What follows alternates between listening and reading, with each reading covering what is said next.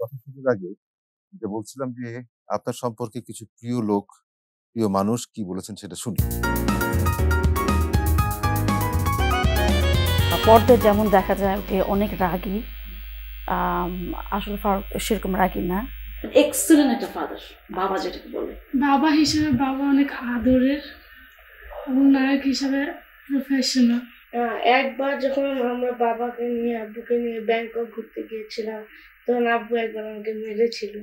ওই ওইটার সরি আব্বু এখনও বলে, তো খুব মজা লাগে। যে এখনও সরি বলে।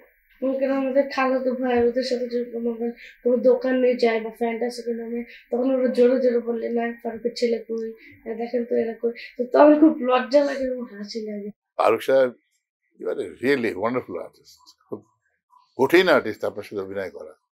আপনার সাথে কয়েকটা ছবিতে অভিনয় করার সুযোগ আমি পেয়েছিলাম। বিশেষ করে নারায়ণ ঘোষ, মিতার কয়েকটা ছবিতে। এক এক চরিত্রে এক একবার এসছেন। লোকে বলে, আপনি শুধু নাকি গ্রামীণ চরিত্রে মানায়? আমার তো মনে হয় মানায় অবশ্যই, কিন্তু আপনাকে সকলের চরিত্রে আমি দেখেছি। আপনার সাথে কাজ করে অনেক কিছু শেখা যায়। Master of art and acting আসসালামু আলাইকুম ফারুক ভাই। কেমন আছেন? অবাক হচ্ছেন আমাকে দেখে তাই না? আসলে আপনার সাথে অভিনয় করার সুযোগ আমার হয়নি ফারুক ভাই তবে আপনি তো একজন অনেক অনেক বড় মাপের একজন শিল্পী। তো ওই ব্যক্তি ফারুককে আমি অত্যন্ত শ্রদ্ধা করি ভালোবাসি দোয়া করি। আপনি যেন সুস্থ থাকেন এবং ভালো থাকেন। কেমন লাগে? ভালো। ছেলে তো খুব মজা করে কথা বলল। বলা আচ্ছা ফারুক ভাই আপনি তো নিজে প্রযোজনা করেছেন। আপনি বেশ কয়েকটা ছবি প্রযোজনা করেছেন। হ্যাঁ। কতগুলো ছবি প্রযোজনা করেছেন? গোটা পাঁচ ছয় ছবি তো পাঁচ ছটা ছবি করেছেন। এখন এখন কি ছবির প্রযোজনায় আছেন আপনি? না। করছেন না। না। আপনি একটু সংক্ষেপে বলবেন যে আমাদের চলচ্চিত্রের যে দৈন্য দশা এটাকে ভালো করতে বা কাটানোর জন্য কি করা উচিত? এক আবার দ্বিতীয় কথা হচ্ছে যে আমরা আমাদের বাংলাদেশের চলচ্চিত্র নিয়ে কবে কীভাবে বিশ্ব চলচ্চিত্র অঙ্গনে মাথা উঁচু করে দাঁড়াতে পারি। নাম্বার ওয়ান আমাদের এই যে শেষ প্রশ্নটা আর কি এটাকে আমি বলব যে মাথা উঁচু করে দাঁড়ানো। আজকে আমাদের পার্শ্ববর্তী দেশের কথা বম্বের কথা বলি মানে ইন্ডিয়াতে আজকে ওরা চলে যায় কোথায় সে হলিউডের ইয়ে যাওয়ার পথগুলো তাদের গভর্নমেন্ট করেছে। মানে এটার জন্য কি আপনি মনে করেন যে সরকারি পৃষ্ঠপোষকতা দরকার? অফকোর্স একটা সুষ্ঠু পরিকল্পনা অফকোর্স। এটা তো আছেই। যেমন কিছু ভালো মানুষের মানুষের চিহ্নিত করা দরকার। ভালো মানুষ বলতে কি? অংশ আমি একটা স্ক্রিপ্ট নিয়ে দিলাম আমাকে চট করে করলেন কি? ওইটা দেখে অ্যাপ্রুভ করে দিলেন যে ওকে দিয়ে দাও। মানুষটা কি? কে? এটা আমি জানলামই না আপনি তো খেলাধুলায়ও খুব আগ্রহী ছিলেন। হ্যাঁ ছিলাম এক সময়। এবং আপনি ক্লাব ইস্কাটন সবুজ সংঘ যেমন আপনি অনেক দিন এটা প্রেসিডেন্ট হ্যাঁ প্রায় দশ বছর। এখন তো আপনি চলচ্চিত্রের বাইরে আবার একটু অন্য ব্যবসাতেও ঢুকেছেন।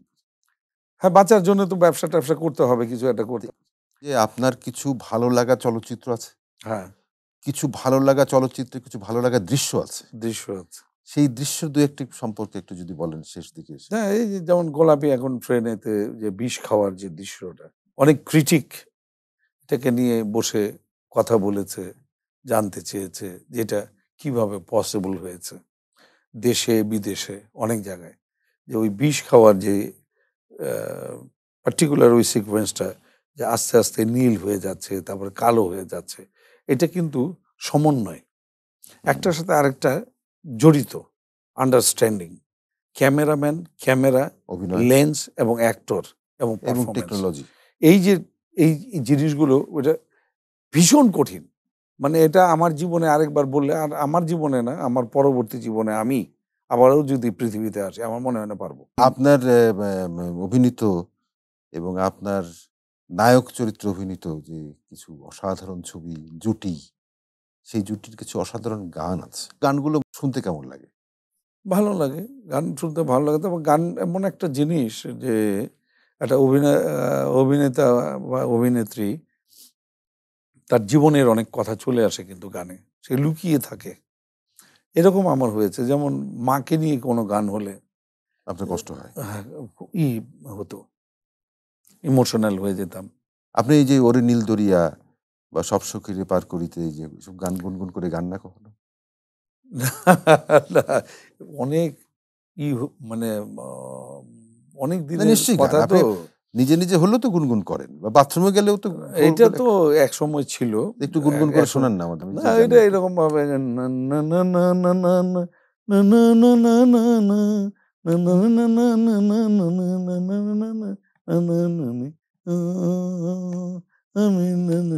আমি প্রেমের ঘাটের মাঝি প্রেম ছাড়া প্রাণে পাচ্ছি না